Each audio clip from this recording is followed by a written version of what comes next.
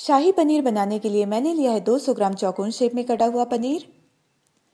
हम एक मसाले का पेस्ट बनाएँगे तो उसके लिए मैंने लिया है एक इंच अदरक छिला हुआ, आठ लहसुन छिली हुई, दो मीडियम साइज़ के टमाटर कटे हुए, दो मीडियम साइज़ के प्याज कटे हुए, चार बादाम, दस से बारह काजू। इन्हें मैंने अलग रखा है क्योंकि इन सारी चीज़ों का हमें पेस्ट बनाना है। थोड़े से गरम मसाला ले लेंगे, उसमें एक बड़ी इलायची दो छोटी इलायची, इन दोनों को मैंने तोड़ लिया है, आधे इंच दालचीनी और दो लवंग। दही हम लेंगे एक तिहाई कप, इसे यूज़ करने से पहले थोड़ा फेंट लेंगे। फ्रेश क्रीम मैंने लिया है दो बड़े चम्मच, आप चाहे तो दूध की मलाई भी यूज़ कर सकते हैं।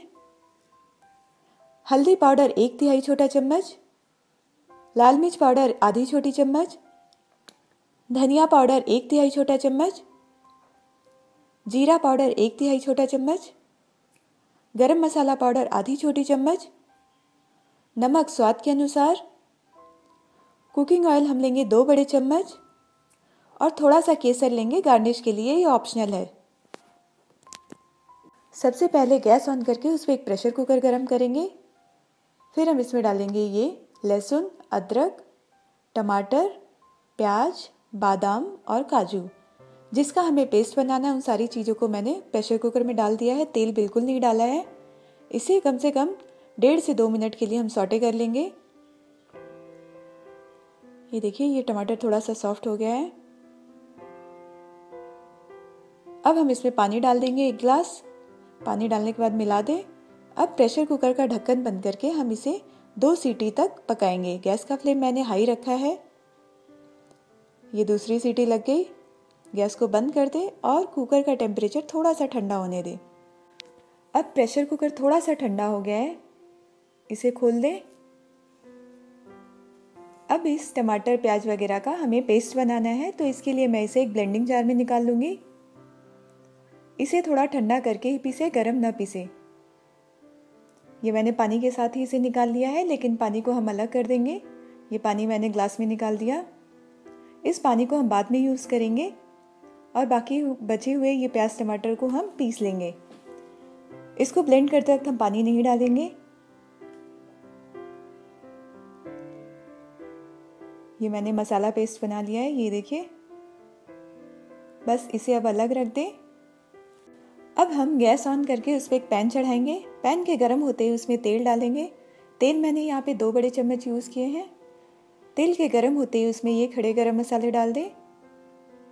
इसे थोड़ा सा भून लेंगे ताकि इसका जो फ्लेवर है वो तेल में आ जाए। अब हम इसमें हल्दी पाउडर डाल देंगे। लाल मिर्च पाउडर। मैं हमेशा तेल में ही हल्दी और लाल मिर्च डालती हूँ, जिससे कि ग्रेवी का कलर बहुत ही अच्छा आता है। ये देखिए। अब हम इसमें ये पिसा हुआ मसाला डाल देंगे। गैस का फ्लेम यहाँ पे मैंने मीडियम रखा है। मिला दें मसालों को। ये देखिए, ये जो लाल मिर्च का कलर है, वो इसके ऊपर आ रहा है। और ग्रेवी का कलर बहुत ही अच्छा दिख रहा है। अब ग्राइंडिंग जार में जो बचा हुआ मसाला है, उसे भी यूज़ कर लें। मसाला बिल्कुल वेस्ट ना करें। ये मैंने बचे हुए मसाले को भी यूज़ कर लिया इसमें। मिला दिया मैंने।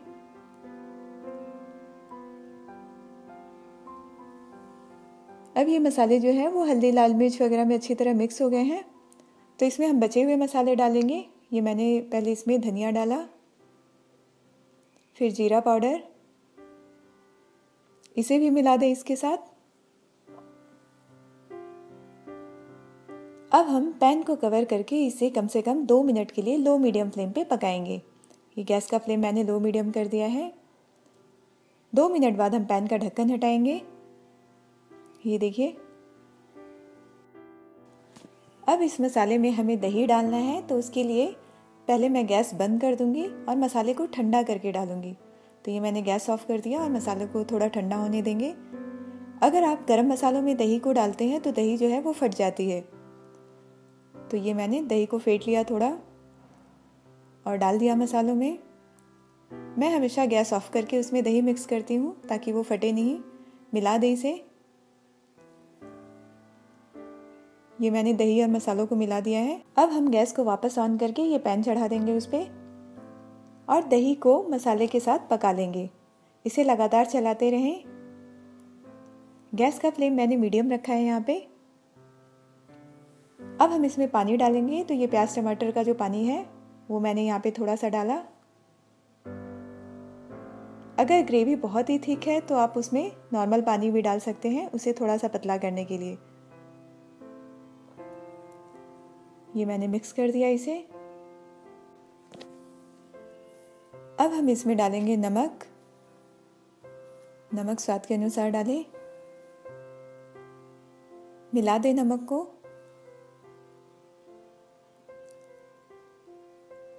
ये मिला दिया मैंने। अब पैन को कवर करके हम इसे एक मिनट के लिए लो फ्लेम पे पकाएँगे। गैस का फ्लेम मैंने लो रखा है यहाँ, देखिए। एक मिनट बाद पैन का ढक्कन हटाएँ। मिक्स करें इसे।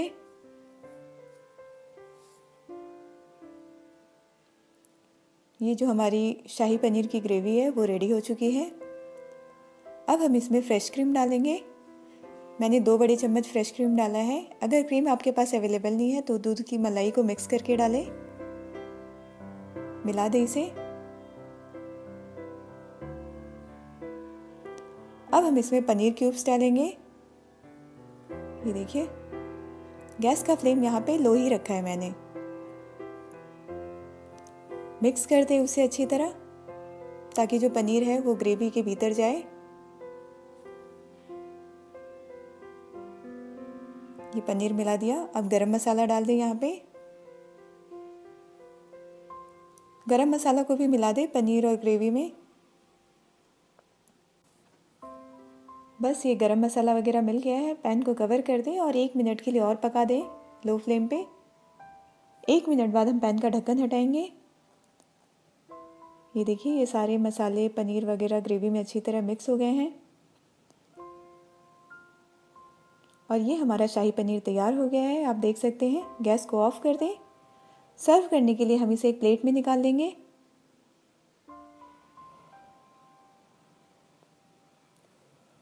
और आप चाहे तो इसे ऐसे ही सर्व करें। या फिर अगर आप इसे थोड़ा शाही लुक देना चाहते हैं तो ऐसे बादाम और फिर थोड़ा सा कैश्यू डाल दें। और थोड़ा सा केसर उसके ऊपर रख के आप इस शाही पनीर को गर्मा गर्म रोटी, पूड़ी, पराठे या किसी के साथ सर्व करें। अगर आपको मेरी रेसिपी अच्छी लगेगी तो प्लीज़ आप मेरे वीडियो के नीचे लाइक का बटन क्लिक करें।